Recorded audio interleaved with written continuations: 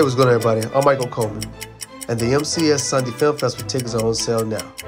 Get your tickets today and don't miss the MCS Sunday Film Festival, Sunday, 3 p.m.